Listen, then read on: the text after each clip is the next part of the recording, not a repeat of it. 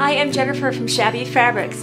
Today I'm going to show you how to make this reversible beach bag. It's so easy, so much fun, and it takes almost no fabric. Now what I use to make this bag is called Flower Sugar. It's from a company you may not have heard from, Lecien Fabrics. They're from Japan and they make just a beautiful array of fabrics. And this is something new. It's a canvas-like fabric. And look, I'm gonna show you what, what the, um, the outside of course is this fabric, but the inside of the bag is this one. And look how cool this is. You have one design, the floral here, and then you've got this pinstriping down the bottom. And that's how we were able to bring in all these fabrics, but actually it's only two different fabrics, but it looks way more involved than that. So let me show you how to make this bag. So fun, and who doesn't need a beach bag?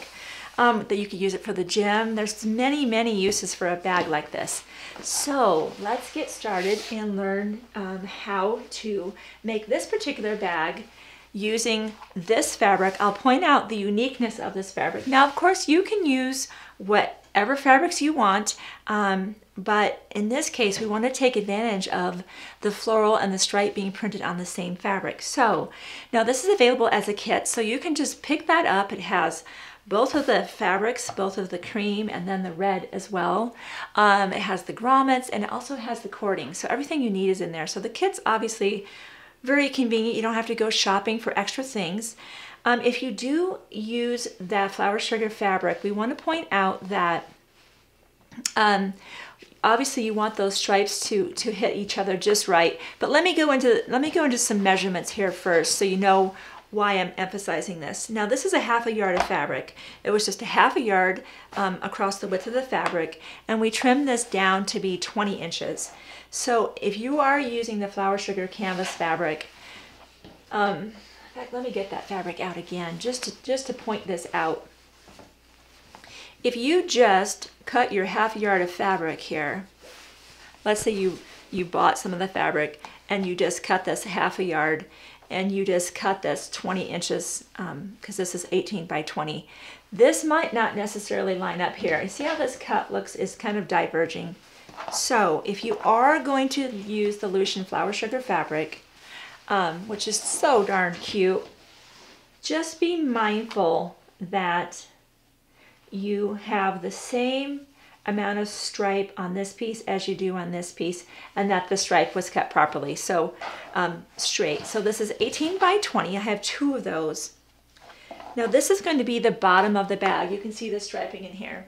I'm going to go ahead and sew a quarter inch seam around those three sides and I've done that ahead of time. And I did that in a darker thread. Of course I would use a cream. I wouldn't use a black but I wanted to do that so you could see what I was doing so you've got the three sides, and now you're going to box the corner. Um, that's this part right in here that creates that little way for the bag to sit nice. Now, if you want a bigger opening, box your corners bigger. Today I'm going to box my corners to four inches. I think this bag was three and a half. I'm going to go for a little bit of a bigger bag because goodness knows I want a bigger opening. Um, it's just easier to get things into the bag. Now when I box corners, the first thing I like to do is I like to trim off that little corner right there. The other thing that seems to make boxing corners easier sometimes is if you actually press some of these seams open. Now on the canvas bag, we didn't do that, we just, just for expediency. Um, I'll show you how to do that without pressing it, but pressing it makes it, I think it makes it even a little bit easier. So when you box a corner, I'm just going to get this seam over top of this seam and I'm trying to open that up so it lies open rather than rolling to the side which creates kind of a nice, well not a nice bump, it creates a bump and I don't like that. I want that to lay open. So that's one of the other reasons I clip that corner is it helps it lay open. So I'm going to lay both of those open like this. There we go. It's a little bit awkward. You can see why pressing is so nice because then it just lays open for you right there. One seam is over top of the other. And this is where I like to use the FriXion pen and my small ruler. It'd be very awkward at this point to bring in a big old ruler and try to manage that. So if you haven't gotten the six and a half inch ruler from OmniGrip, just get it. You'll have so many uses for it and it's a ruler. It's, it's not something that you'll have to replace. So just make the investment and get it over with. So I'm gonna, if I'm gonna box my corner four inches, then I'm gonna lay that ruler so that two inch mark goes right along the seam line. So right there, boy, I got lucky the first time. Sometimes I have to fidget around and find that sweet spot. Today I got lucky, found it right away. So I've got my two inch running right along the middle. There's my zero and there's my four. So I will simply draw this line here with my FriXion pen. Now I like to go ahead and pin whenever I'm going to box a corner because I don't want that to shift on me while I take it to the sewing machine. So I'm just going to put a couple pins in here. Now I'm going to take this to the sewing machine and just run a straight stitch all the way from here to here. And I'm going to repeat that on the other side of the bag. So when I come back, these corners will be boxed. And once you box them, you just go ahead and trim. Um, in fact, let's do that step together. I don't want to get too far ahead of you. If you've never boxed a corner, let's go ahead and I'm going to sew on that line, repeat for the other side. When I come back, we'll keep going on our bag. Now that I've boxed the two corners here, you can go ahead and iron away that FriXion pen if that bugs you. That's why I like to use the FriXion pen. It disappears with heat. Um, or, you know, I doesn't bother me, so I'm going to leave it right there. I will get out that ruler now and I'm just going to go ahead and cut that quarter inch seam away. Do the same on the other side. For the lining fabric, which in this instance is the red floral with the blue stripe, you're going to do the exact same things. Uh, keep in mind the measurements for the project will be on the free downloads. It's the Shabby Fabrics homepage. Go at the very bottom, click on that link. You're looking for the reversible beach bag, but the measurements are very simple. It's 18 by 20, two pieces of that. Um, so now that we've done the outside bag and we went ahead and did the inside ahead of time because it was done the exact same way. For the outside of the bag, go ahead and don't turn it right side out. For the inside of the bag, or the reversible side, I guess I should call it, um, I went ahead and turned the bag right side out. And you can see it still has the same box corners. Um, so you will go ahead and feed this bag into the other, matching the side seams as you would expect. And this one got pressed open. I would go ahead and press that open, at least the top portion. Line that up, we'll pin it. And you'll keep pinning all the way around and leave, here let me just get that inside here so we can see how that works. Pin all the way around, leave a good five, six inch opening. So we'll go ahead and turn the bag through. So when I come back, I will be at the place where we're ready to turn the bag through. In fact, I will go ahead and turn the bag through and then I'll take you to the next step. So I turned my bag right side out and it looks like this. I wanted to show you that so you didn't think you made a mistake. It looks a little weird. You've got your opening here. No worries, just stuff that red portion in this case inside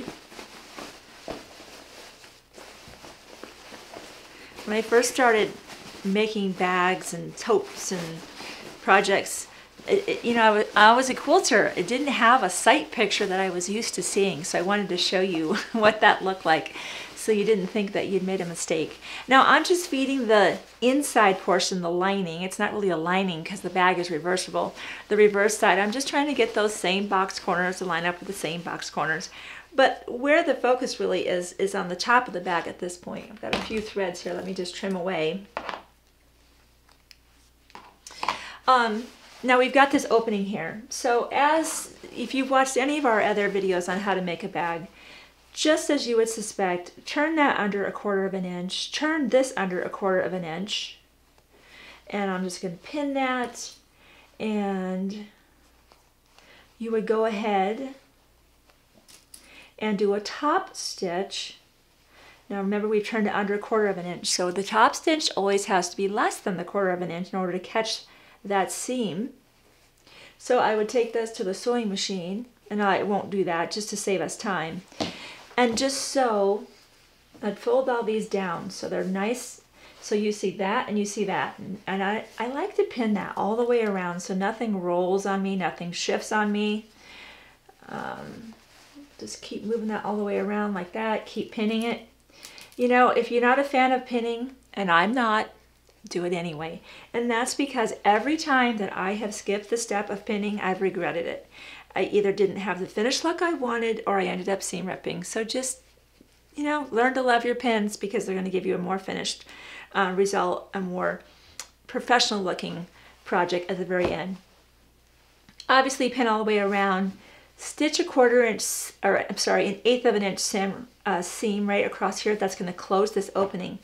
Then, in order to create this cuff here, the neat thing is, is the cuff is right there. So let's pretend that that was already all stitched down. Of course, the pins would be gone.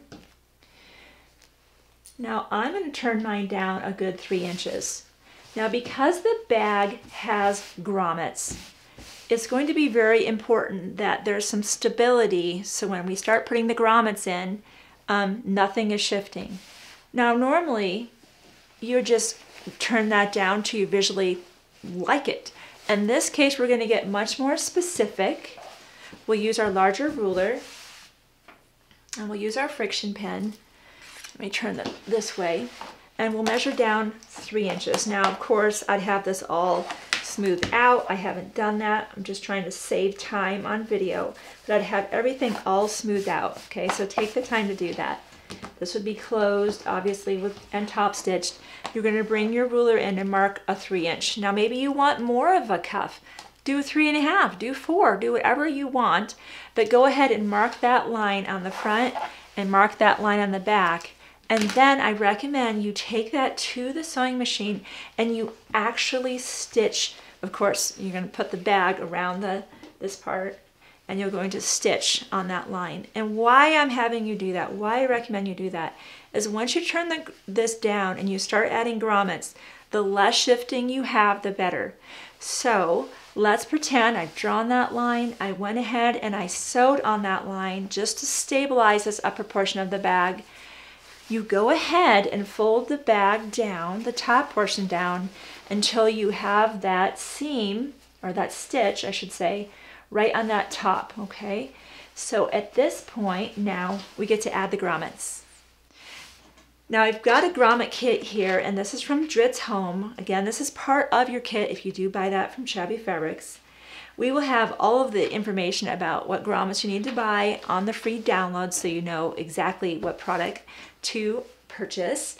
Now I went ahead and took the sample bag and I took the, the cording out. I wanted you to see this laid out so you can see where the grommets are hitting.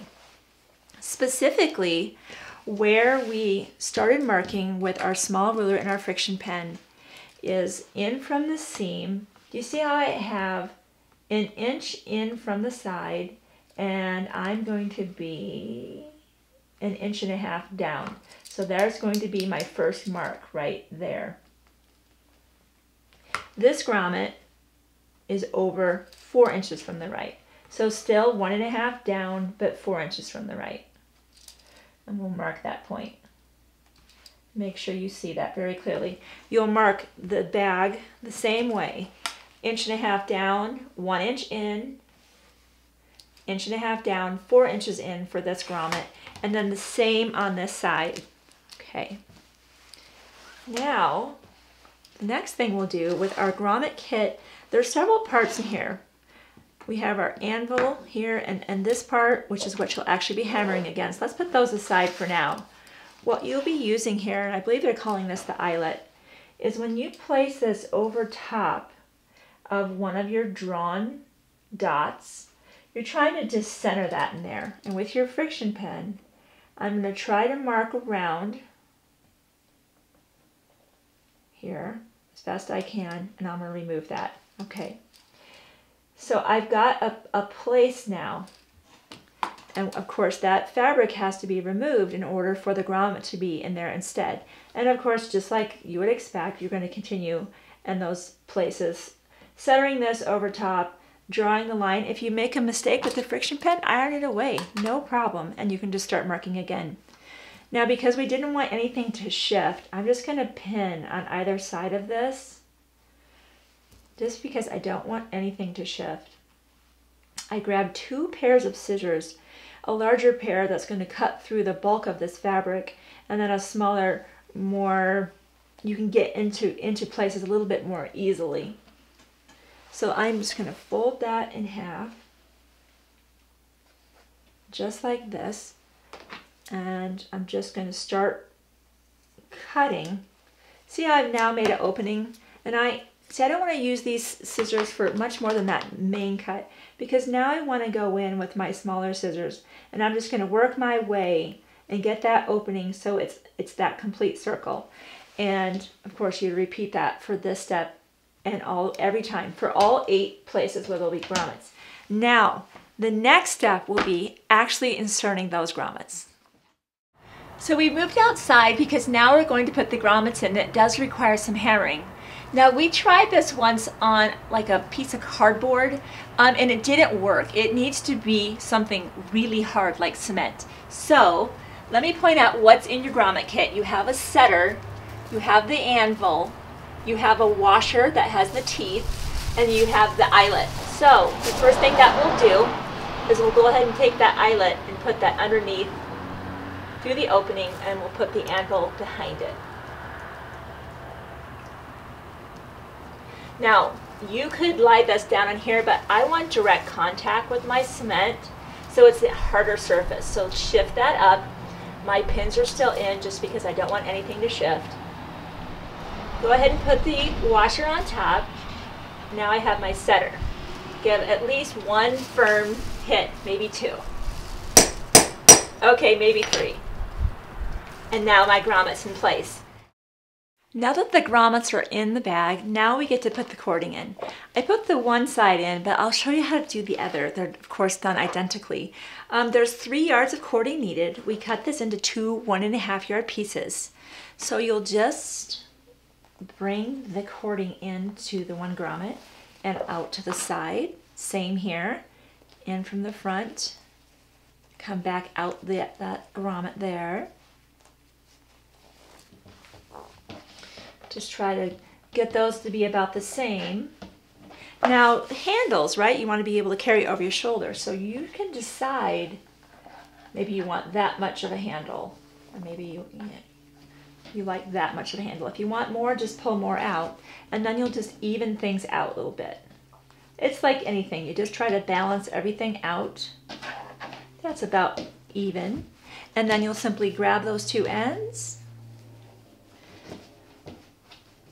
tie a knot, grab those two ends, tie a knot, and you're ready to go off to the beach for the day.